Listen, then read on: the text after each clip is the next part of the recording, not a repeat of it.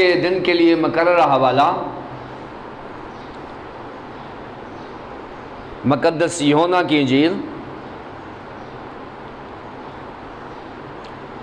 उसका चौदवा बाब। उसकी पंद्रहवीं आयत से लेकर सताईसवीं आयत तक मैं आपके लिए पढ़ूँगा।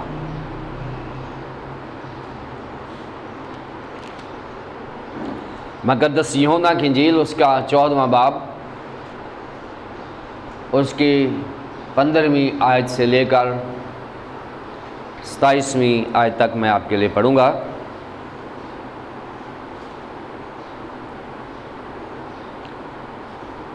अगर तुम मुझसे मोहब्बत रखते हो तो मेरे हुक्मों पर अमल करोगे। बाइबल मुकदस में ये मरकूम है अगर तुम मुझसे मोहब्बत रखते हो तो मेरे हुक्म पर अमल करोगे। और मैं बाप से दरख्वास्त करूँगा तो वो तुम्हें दूसरा मददगार बख्शेगा कि अब तक तुम्हारे साथ रहे। यानी रूह हक, जिसे दुनिया हासिल नहीं कर सकती, क्योंकि ना उसे देखती और ना जानती है। तुम उसे जानते हो क्योंकि वो तुम्हारे साथ रहता है और तुम्हारे अंदर होगा। मैं तुम्हें यतीम ना छोड़ूँगा। मैं तुम्हारे पास आऊँगा। थोड़ी देर बाकी है कि दुनिया मुझे फिर ना देखेगी, मगर तुम मुझे देखते रहोगे। क्योंकि मैं जीता हूँ तुम भी जीते रहोगे। उस रोज तुम जानोगे कि मैं अपने बाप में हूँ और तुम मुझमें और मैं तुम में। जिसके पास मेरे हुक्म हैं और वो उन पर अमल करता है, वही मुझसे मोहब्बत रखता है। और जो मुझसे मोहब्बत रखता है, वो मेरे बाप का प्यारा होगा और मैं उससे मोहब्बत रखूँगा। और अपने आप को उस पर ज़ाहिर करूँगा। उस यहूदा ने जो इसकरियूती ना था, उससे कहा, ए खुदावंद, क्या हुआ कि तू अपने आप को हम पर तो ज़ाहिर किया चाहता है, मगर दुनिया पर नहीं? यसु ने जवाब में उससे कहा कि, अगर कोई मुझसे मोहब्बत रखे तो मेरे कलाम पर अमल करेगा और मेरा बाप उससे मोहब्बत रखेगा और हम उसके पास आएँगे और उसके साथ सुकूनत करेंगे। जो मुझसे मोहब्बत नहीं रखता, वो मेरे कलाम पर अमल नहीं करता। और जो कलाम तुम सुनते हो, वो मेरा नहीं, बल्कि बाप का है, जिसने मुझे भेजा है। मैंने ये बातें तुम्हारे साथ रहकर तुमसे कही। लेकिन मददगार यानी रूहुल कुद्स, जिसे बाप मेरे नाम से भेजेगा, वही तुम्हें सब बातें सिखाएगा।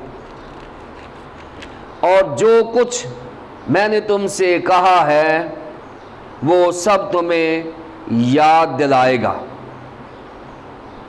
मैं तुम्हें इतमान दिए जाता हूँ, अपना इतमान तुम्हें देता हूँ। जिस तरह दुनिया देती है मैं तुम्हें उस तरह नहीं देता। तुम्हारा दिल ना घबराए और ना डरे। खुदामन के कलाम मुकदस के पढ़े और सुने जाने पर खुदामन की बरकत हो।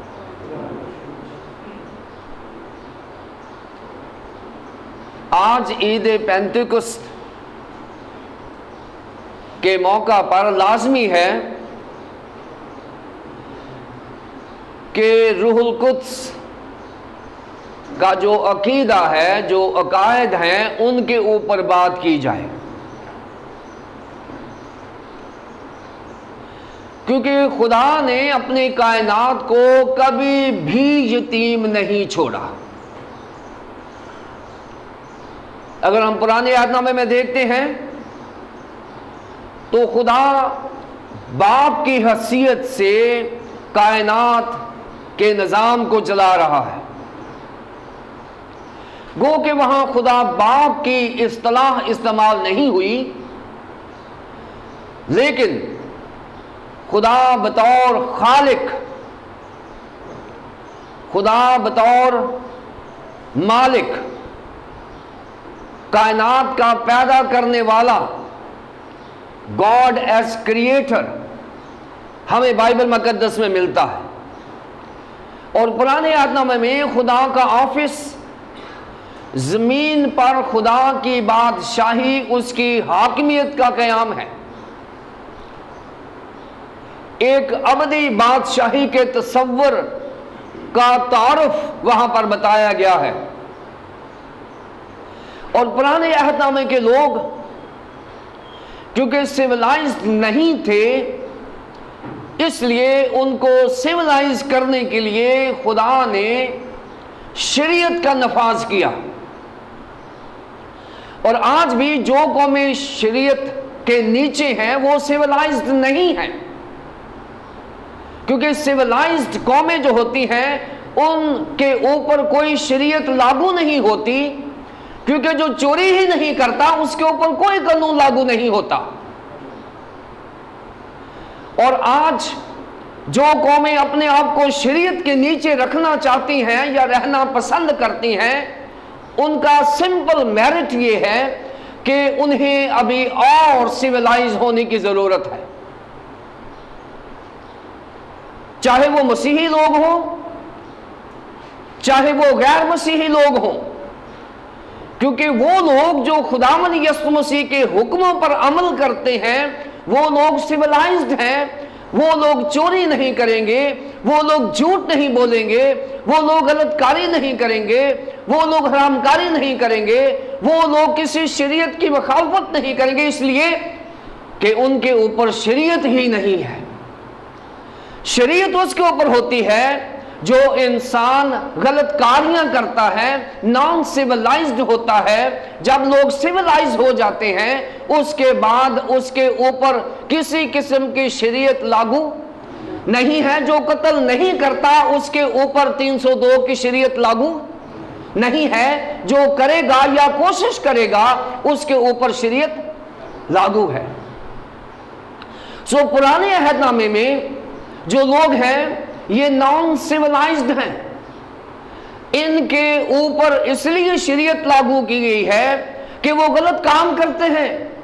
और खुदा उनको गलत काम ना करने के लिए उनको शरीयत दे देता है कि अगर तुम ये काम करोगे तो इसके ऊपर ये सजा होगी। अगर ये वाला जुर्म करोगे तो ये सजा होगी। अगर ये वाली गलतकारी करोगे तो ये सजा होगी। और पुराने अहदनामे में खुदा ने अपनी कौम को सिविलाइज करने के लिए मोजिस को इस्तेमाल किया है, अंबिया कराम को इस्तेमाल किया है, बादशाहों को इस्तेमाल किया है और अपनी कौम को सिविलाइज करने के लिए उसने शरीयत का नफाज किया है। ये बाप की पहली कोशिश थी बनी नो इंसान को एक लाइन पर लाने के लिए, एक मंजिल पर लाने के लिए खुदा ने शरीयत का नफाज किया। लेकिन जो दूसरी स्टेज है कौम की, इंसानियत की जो दूसरी स्टेज है, पहली स्टेज है नॉन सिविलाइज्ड लोग, जिनका कोई किरदार नहीं है।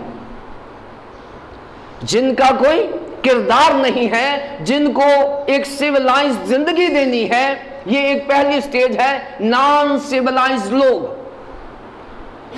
दूसरे वो लोग हैं जो सिविलाइजिंग प्रोसेस में हैं, जो अपने आप को हर रोज एक नई तब्दीली पैदा करते हैं और शरीयत उनकी हेल्प के कर रही है कि तुमने लाल सिग्नल को नहीं तोड़ना, तुमने चोरी नहीं करनी, तुमने बदकारी नहीं करनी, तुमने ये वाली गलती नहीं करनी और शरीयत हमारी मदद कर रही है कि हम सिविलाइज हो जाएँ।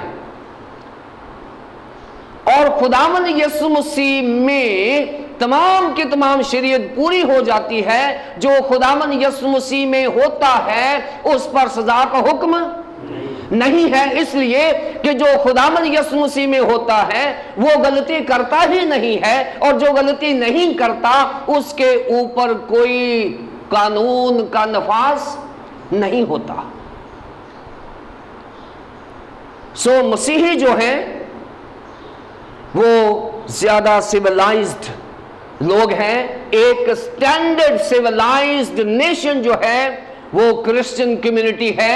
अगर वो खुदामंद यसु मसीह के हुक्मों पर अमल करते हैं, अगर वो नहीं करते, अगर मसीही भी खुदामंद की ताबेदारी में नहीं है, खुदामंद यसु मसीह के हुक्म पर नहीं अमल करते तो फिर इसका मतलब यह है कि वो भी नॉन सिविलाइज्ड है और हर नॉन सिविलाइज्ड शख्स के ऊपर शरीयत का नफाज लाजिम है। जो मुकम्मल तौर पर यसु मसीह में आ जाएगा, उसके ऊपर किसी किस्म की शरीयत का नफाज नहीं है। इसलिए कि जो सच्चा मसीही है, जो एक मेयारी मसीही है, वो गलती करता ही नहीं है। और आज अगर खुदावन यसु मसीह का राज मेरी ज़िंदगी में, आपकी ज़िंदगी में पूरी दुनिया में आ जाएगा तो पूरी दुनिया में किसी जेल की ज़रूरत नहीं रहेगी, किसी शरीयत की ज़रूरत नहीं रहेगी और किसी थाने की ज़रूरत नहीं रहेगी। खुदावन यसु मसीह की आमद हमें सिविलाइज्ड कल्चर देती है, जिसको हम किंगडम कल्चर कहते हैं। जब हम आसमान पर मसीही ज़िंदगी एंजॉय करेंगे, वहाँ पुलिस नहीं होगी। जब हम आसमान पर खुदावन के पास होंगे वहाँ जेलें नहीं होगी, क्योंकि वहाँ किंगडम कल्चर होगा। वहाँ रास्तबाजी और बादशाही का कल्चर होगा। वहाँ शरीयत का नफाज नहीं होगा। लोग खुदामन यसुमसी में आज़ाद हो जाएँगे। और यहाँ पर भी जेलों और शरीयत और थानों की ज़रूरत नहीं होगी। इस ज़मीन पर अगर ज़मीन वाले खुदामन यसुमसी को अपना निजात दहिंदा मान लेंगे तो दुनिया पर गुना खत्म हो जाएगा। और जहाँ पर गुनाह नहीं है, वहाँ कोई शरीयत नहीं होती है। पहले खुदा बाप ने ज़मीन को कंट्रोल किया, उसके बाद खुदा बेटा वो ज़मीन पर आए और उन्होंने ज़मीन पर बादशाही किंगडम कल्चर की इस्टेब्लिशमेंट की और खुदावंद यसमुसी अब जमीनी बादशाही के कयाम के बाद वापस जा रहे हैं और उन्होंने कहा है क्या और मैं बाप से दरखास्त करूँगा कि वो तुम्हें दूसरा मददगार बख्शेगा कि अब तक तुम्हारे साथ रहे, यानी रोहे हक। जिसे दुनिया हासिल नहीं कर सकती क्योंकि ना उसे देखती और ना उसे जानती है। तुम उसे जानते हो क्योंकि वो तुम्हारे साथ रहता है और तुम्हारे अंदर है।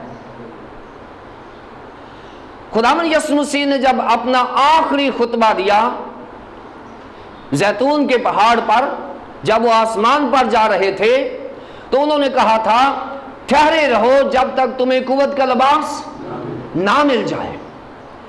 और यहाँ पर खुदावन यसमुसी वादा कर रहे हैं, जो उन्होंने आज पैंतीकोस्त के दिन पूरा किया है। खुदावन यसमुसी अपनी फ़िज़िकल प्रेजेंस से सुबकदोश हो रहे हैं। अपनी जस्मानी मौजूदगी जो ज़मीन पर है, वो आसमान पर उठाई जा रही है। लेकिन उन्होंने ये कहा है कि मैं तुम्हारे साथ रहूँगा, लेकिन मैं रूहुल कुद्दस के वसीले से तुम्हारे पास मौजूद होऊँगा। सो खुदावन यसमुसी, बाप की मौजूदगी है ज़मीन पर, और रूहुल कुद्दस खुदावन यसमुसी की मौजूदगी है ज़मीन पर। सो रूहुल कुद्दस जो है, ये खुदामन यसमुसी की रूहानी शख्सियत है जो ज़मीन पर हमारे दरमियान मौजूद है, जिसको तीसरा ऑफ़िस दे दिया गया है। इसलिए हम खुदा की ज़ात अकदस को तीन ऑफ़िस में तकसीम करते हैं। खुदा बाप, खुदा बेटा और खुदा रूहुल कुद्स एक ही एहसन है, एक ही जोहर है एक ही शख्स है, जिसकी तीन जिम्मेदारियाँ हैं, जो तीन अशास में हमारे दरमियान मौजूद है। खुदा बाप की अपनी हैसियत है, खुदा बेटे का अपना ऑफ़िस है, और खुदा रुहुल कुदस का अपना ऑफ़िस है। आज क्योंकि ट्रिनिटी संडे नहीं है, अगला अतवार तसलीस का त्यौहार होगा। अगले तवार हम तसलीस की बात करेंगे, लेकिन आज हम रूहुल कुद्दस की बात करने लगे हैं कि रूहुल कुद्दस क्या है? रूहुल कुदस खुदाए सालूस का तीसरा अकनूम है। Third person of the Holy Trinity खुदाए सालूस का तीसरा अकनूम। और हमारे पास बाइबल मुकद्दस में चंद हवाला जात हैं, जिनसे हमें रूहुल कुद्दस की शख्सियत के बारे में इल्म होता है। पहला वाला है, पहला ग्रंथियों दो बाब की दसवीं आयत। जिसमें रूहुल कुद्दस को एक ऐसा शख्स बयान किया गया है, जिसमें सोचने की अहलियत है। अब रूहुल कुद्दस के बारे में हमें क्लियर होना है कि रूहुल कुद्दस ऐसे ही है जैसे खुदामन यसु मसीह की फ़िज़िकल मौजूदगी थी और वो लोगों की बातें सुनते थे, उनके दुख दर्द में उनके साथ होते थे, उनकी मुसीबतों में उनके मदद करते थे और उनके फैसलों में उनको मशवरे देते थे। बिल्कुल वैसे ही खुदावन यसु मसीह की मौजूदगी रूहुल कुद्दस में मौजूद है और पहला करंथियों दो बाब की दसवीं आयत में लिखा गया the Holy Spirit thinks and knows. खुदामंद यसु मसीह के बाद रूहुल कुद्दस की मौजूदगी एक पर्सन के तौर पर सामने आई है, जो सोचने की अहलियत रखता है और जो हर चीज़ को जानने की काबिलियत रखता है। ये रूहुल कुद्दस की तारीफ़ बताई गई है और ये चाहे कि रूहुल कुद्दस के लिए जो इब्रानी लफ्ज है, रुआख इस्तेमाल किया गया है। और ये पहली दफ़ा उस वक्त हुआ था जब खुदा ने आदम के नथनों में ज़िंदगी का दम फूका था और उस दम फूकने को रुआख कहा गया है, यानी सांस का बाहर निकालना या तेज हवा का आना, ये रूहुल कुद्दस की अलामत है। और आप जानते हैं कि जब खुदा ने उसके नथनों में ज़िंदगी का दम फूका तो इंसान जीती जान हुआ, यानी ये वो रुख है कि जहाँ पर फूका जाए, वो हमारी ऑक्सीजन शुरू हो जाती है और हम ज़िंदगी में वापस आ जाते हैं। रूल कुद्दस की मौजूदगी हमारे दरमियान ऐसी ही मौजूदगी है जैसे टेक्नोलॉजी की दुनिया में वाईफाई की हैसियत है। क्योंकि वाईफाई टेक्नोलॉजी की दुनिया में एक अच्छी इलस्ट्रेशन है रूहुल कुद्दस को समझने के लिए कि आज हर जगह पे वाईफाई मौजूद है। आपकी जो मोबाइल डिवाइस है उसमें ये वाईफाई कैच हो जाएगा, लेकिन आप कनेक्ट नहीं हो सकते जब तक आप उस वाईफाई का पासवर्ड नहीं लगाएँगे। आप किसी भी हल्के में वाईफाई मौजूद है, आप कनेक्ट हो जाएँगे, लेकिन आपको पासवर्ड लगाना होगा और पासवर्ड लगाने के लिए लाजमी है कि आप अपनी डिवाइस को अलाउ करें कि आपका वाईफाई कबूल कर लें। इसी तरह खुदावन यसु मसीह का रूह जो है, खुदा का जो रूह है, यहाँ मौजूद है और उसके लिए हमें पासवर्ड लगाना है और वो मैं दे देता हूँ तमाम कलिसियाओं को, वो है P R A Y E R अगर आप ये पासवर्ड लगाएँगे तो आप रूहुल कुद्दस के साथ कनेक्ट हो जाएँगे और आपका डाटा आना शुरू हो जाएगा और जाना शुरू हो जाएगा।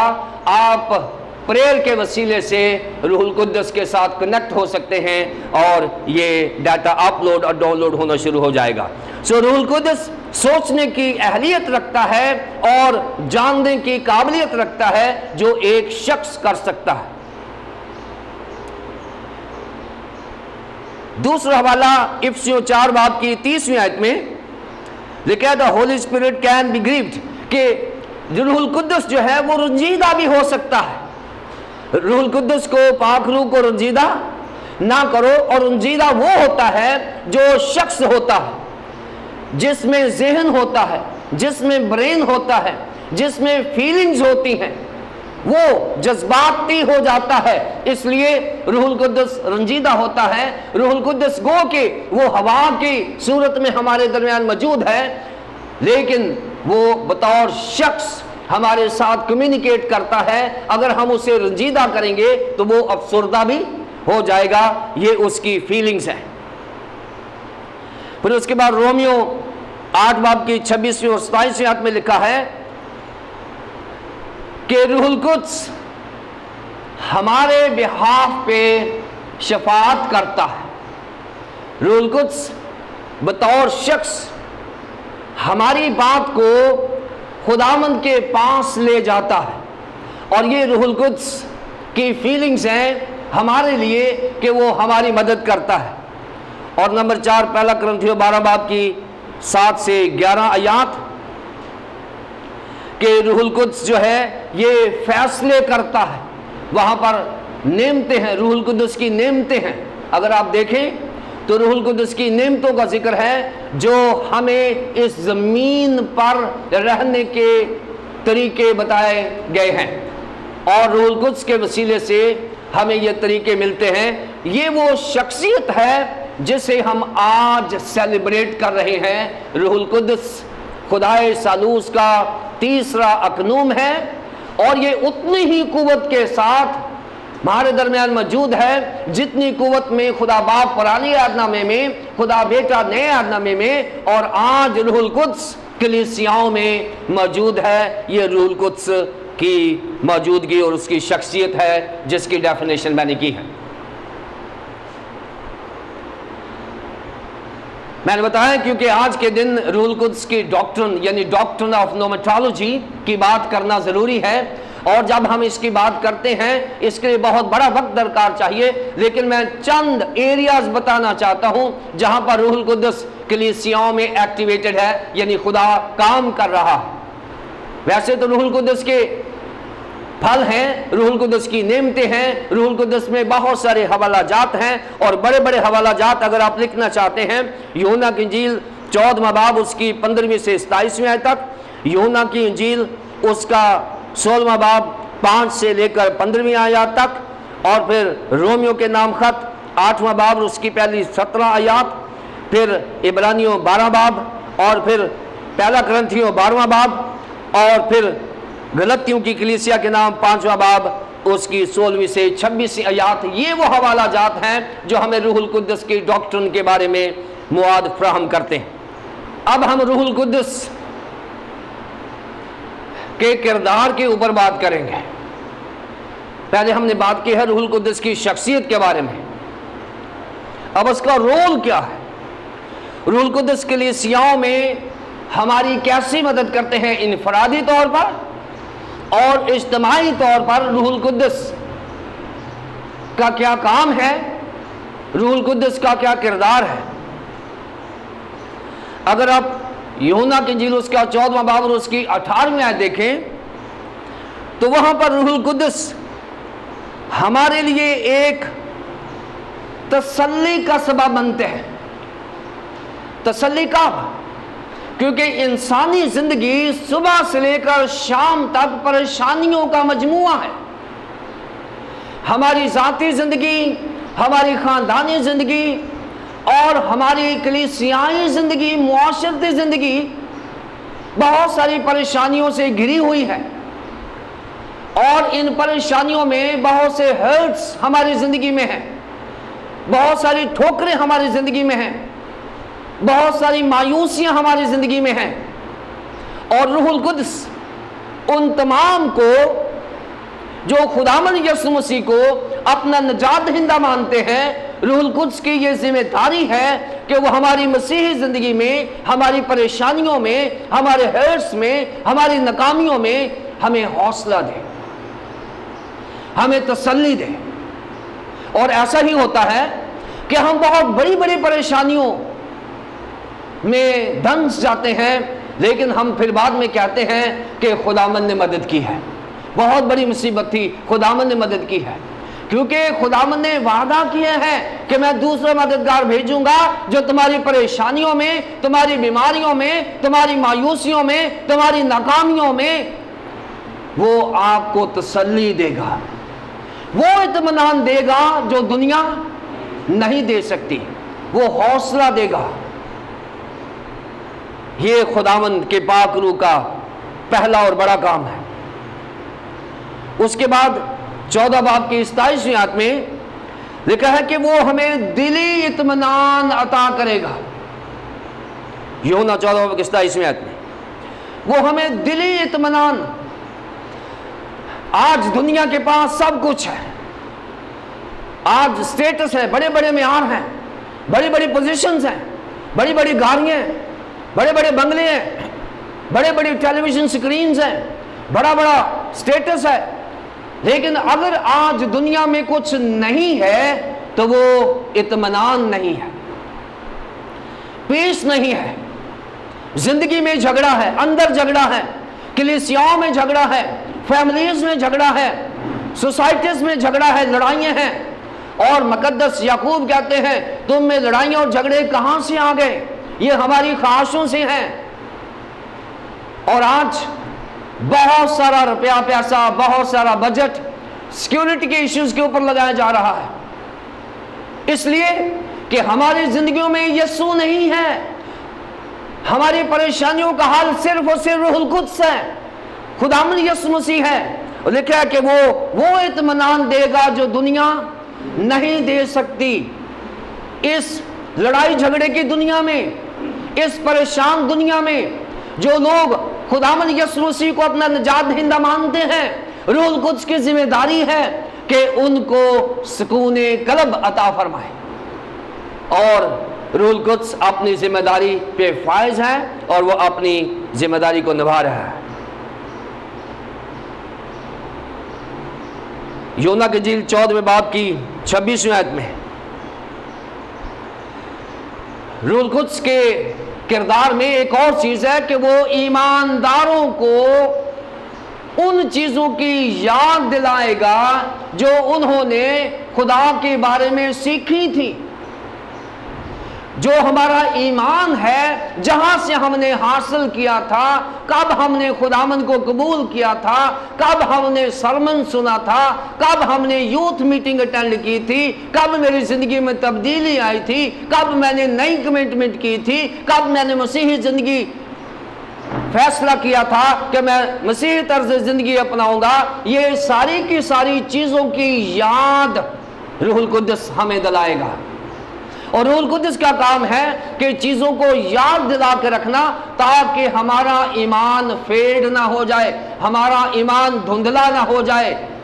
रूल कुदस का काम है हमें बाइबल मुकदस की आयात याद दिलाते रहना, मुश्किलात में हमें बाइबल मुकदस को याद दिलाना, हमें खुदा के ऐसे वाकयात याद दिलाना जो हमारे ईमान को तकवीर देते हैं। ये रूल कुदस की मिनिस्ट्री है और रूल कुदस हमारे साथ ऐसा ही करता है। यही वजह है कि हम रोज ताज़ा हो जाते हैं और हमारा ईमान ताज़ा हो जाता है। और रूहुल कुदस ना सिर्फ़ याद दिलाएगा बल्कि जब हम बशारत करेंगे तो रूहुल कुदस हमें याद दिलाएगा कि यहाँ पर किस हवाले की ज़रूरत है, यहाँ पर किस चीज़ की ज़रूरत है। रूहुल कुदस हमें प्रीचिंग में हमारी मदद करेगा। हमारे बशारती प्रोग्राम में हमारी मदद करेगा। ये रूहुल कुदस का वादा है जो उसने किया है। हमारे ईमान की तकवीत के लिए और हमारी बशारत के फ़रोग के लिए रूहुल कुदस हमारे साथ है और वह अपने वादे पर अटल है और वह अपने वादों को पूरा करता है। नंबर चार।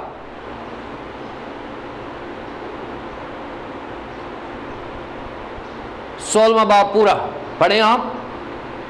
यहोना की इंजील का सोलवा बाब। वहाँ आपको ये मिलेगा कि रूहुल कुदस बतौर सलाहकार, काउंसलर के तौर पर हमारे सामने मौजूद है। काउंसलर क्या करता है? हमारे फैसलों पर असरअंदाज होता है कि हमने ये फैसला करना है। हमें इम्तियाज़ की रूह देता है कि हमें दो चीज़ों में इम्तियाज़ कैसे करना है। सो रूहुल कुदस अपनी जिम्मेदारियों पर पूरा उतरता है और रूहुल कुदस जॉन 16 में, यहोना के उसके सोलहवें बाब में, बतौर काउंसलर मजहबी रहनुमाओं की और कलेसियाओं की काउंसलिंग करता है। उनकी हदायत और रहनुमाई करता है।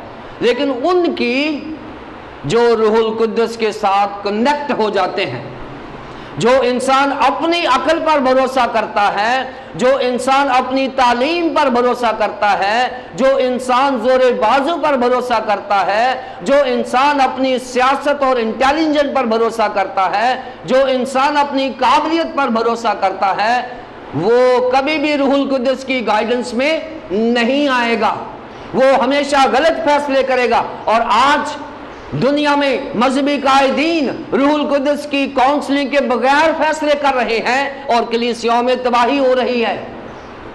कलीसियाएँ तबाह हो रही हैं इसलिए कि रूहुल कुदस के बगैर ये फैसले किए जा रहे हैं। आज पैंती कॉस्ट वाले दिन, तमाम मजहबी रहनुमाओं को और तमाम कलीसियाओं को कलाम मकदस की यह दावत है कि आप रूहुल कुदस के साथ कनेक्ट हो जाएँ आप रूहुल कुदस के साथ रबते में हो जाएँ और जब आप ऐसा करेंगे तो आपकी ज़िंदगी के फैसले और कलीसियाओं के फैसले रूहुल कुदस की काउंसलिंग में होंगे और अच्छे फैसले होंगे। अगर हम फैसले करेंगे तो फैसले गलत हो जाएँगे।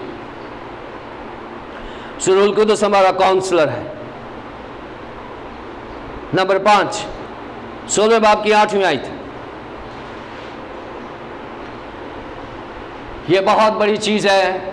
जो सोलह बाब के आठवें आयत है जो लोग रूहुल के नीचे ज़िंदगी बसर करते हैं, रूहुल की रहनुमाई में ज़िंदगी बसर करते हैं, उसकी काउंसलिंग में ज़िंदगी बसर करते हैं तो यहुना की झील उसके सोलह बाब की आठवें में लिखा है कि रूहुल कुद्दुस ही इंसान को कन्विंस करता है, कायल करता है कि वो अपने गुनागार होने का एतराफ़ करे।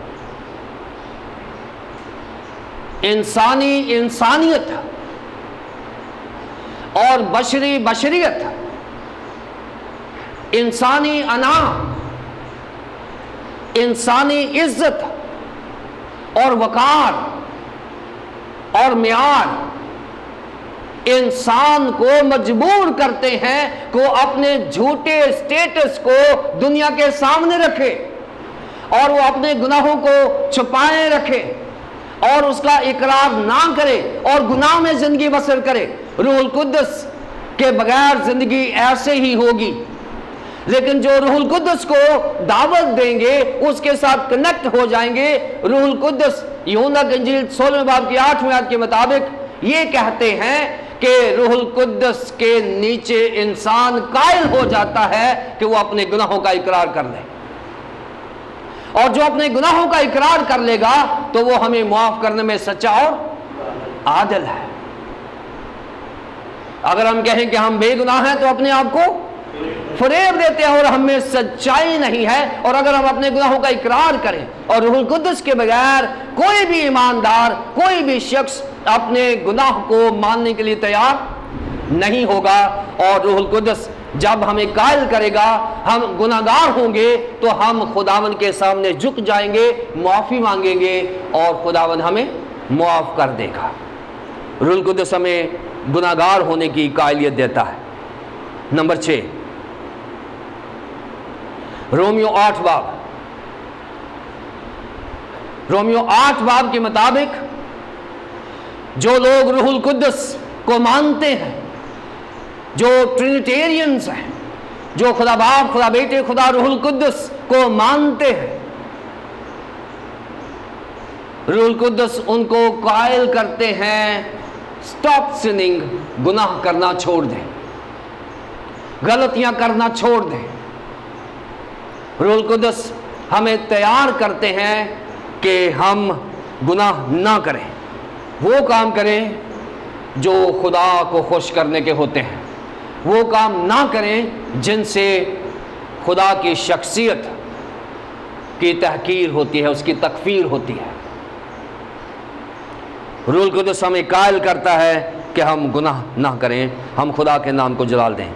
और आखिरी बात, सातवीं बात, रूल कुदस हेल्प्स अस टू प्रे रूल कुदस के बगैर दवाइया ज़िंदगी नहीं डेवलप हो सकती। जो लोग रूहुल कुदस के साथ ज़िंदगी बसर करते हैं, वो दुआया ज़िंदगी बसर करते हैं। और जब हम दुआ करते हैं तो हमारी दुआ को डिवाइन लैंग्वेज में इंटरप्रेट करके रूहुल कुदस हमारी दुआ को खुदामद यसु मसीह के वसीले से खुदा बाप तक पहुँचा देते हैं। जब हम रूह में दुआ करते हैं तो खुदामद यसु मसीह का वसीला इस्तेमाल करते हैं तो हमारी तमाम दुआएँ मंजूर हो जाती हैं।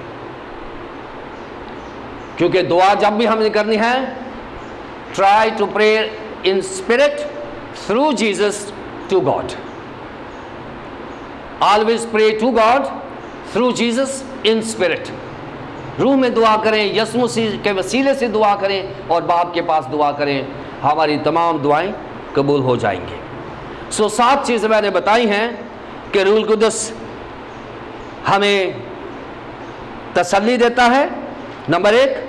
नंबर दो इतमान देता है। नंबर तीन, हमें याद दिलाता है। नंबर चार, हमारी काउंसलिंग करता है। नंबर पाँच, हमें कायल करता है। नंबर छ हमें गुनाह से रोकता है। और नंबर सात, हमें दुआ करने वाला शख्स बना देता है। सो ये वो चीज़ें हैं जो आज के दिन हमें सीखनी है। और अगर हम रूल कुदस के नीचे ज़िंदगी बसर करते हैं तो हम पर किसी शरीयत का नफास नहीं है। रूल कुदस के नीचे ज़िंदगी बसर करने वाले खुदा को खुदा बाप मानते हैं यस मसीह को खुदा का बेटा मानते हैं और रूहुल कुदस को अपनी फेलोशिप मानते हैं, रफाकत और शराकत का हिस्सा मानते हैं। और जो लोग ये मानते हैं, वो इंतहाई सिविलाइज्ड लोग हैं और जितने यसु मसीह में हैं, उन पर सज़ा का हुक्म नहीं है, यानी उन पर कोई शरीयत अमल नहीं कर सकती। नॉन सिविलाइज लोगों के लिए शरीयत होती है। क्रिश्चियन सिविलाइज्ड लोगों के लिए शरीयत नहीं होती। खुदा आपको बरकत है और रूहुल कुदस के साथ मामूर कर दें।